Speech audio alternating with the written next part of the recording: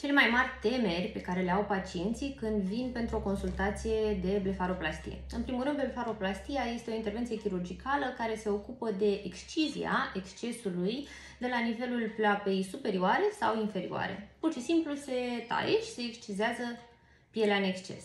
Și, dacă este nevoie, se excizează și pungile de grăsime de la nivelul pleoapelor superioare sau inferioare.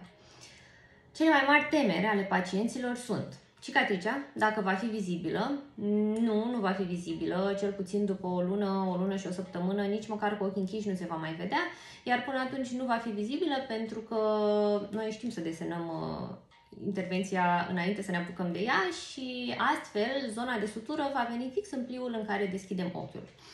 De ce nu va mai fi vizibilă? Pentru că nu depășim nicio arcada orbitală cu incizia. Nu trebuie niciodată să depășim pielea pleoapei spre pielea temporală. Este o greșeală foarte frecventă pe care pacienții observă. Un pacient operat corect de blefaroplastie nu ai cum să-l observi pe stradă, însă unul operat greșit, bineînțeles că îți va sări în ochi.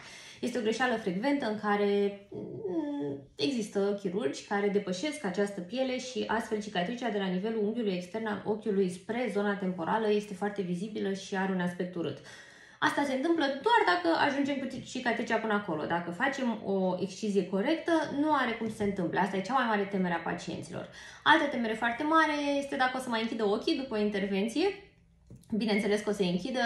Singurul secret este să ai un centimetru înainte să te apuci să tai și să faci un desen corect pe care noi l-am făcut de câteva sute de ori, deci, din nou, nu este o problemă, nu este o situație care poate să se întâmple dacă măsori și lași cât centimetri trebuie lăsați în urmă după ce excizezi pielea care este în exces. Nu este o situație care poate să se întâmple din greșeală. Nu are cum să se întâmple dacă știi să folosești un centimetru, practic. Uh, da, pot să existe vânătări, uh, depinde de la om la om. Vânătările pot să dureze maxim până la 10, 12, 14 zile, în cel mai rău caz.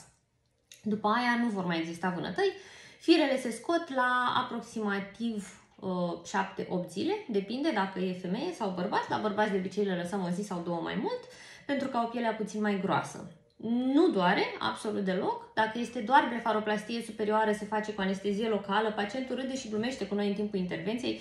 Din contra, chiar îi rugăm să nu mai râdă atât de puternic pentru că ne mișcă ploapele. Uh, dacă se face la nivelul ploapelor uh, inferioare, atunci avem nevoie de sedarea unui medic anestezist dar asta oferă doar confort pacientului. Nu este vorba de anestezie generală sau intubație, este vorba de o sedare fină, ca pacientul să poată să suporte protecțiile care trebuie puse pe ochi. Cam astea sunt cele mai frecvente frici legate de blefaroplastia superioară. Nu vă fie frică, este o intervenție pe care noi o facem foarte frecvent și avem rezultate foarte bune. Și dacă aveți emoții în legătură cu ea, doar veniți în cabinet și veți vedea zeci de paciente operate cu rezultate ok și o să puteți să scăpați de această frică. O zi bună, la revedere!